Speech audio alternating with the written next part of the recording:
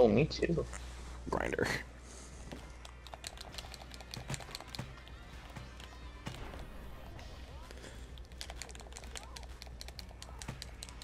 Oh my god!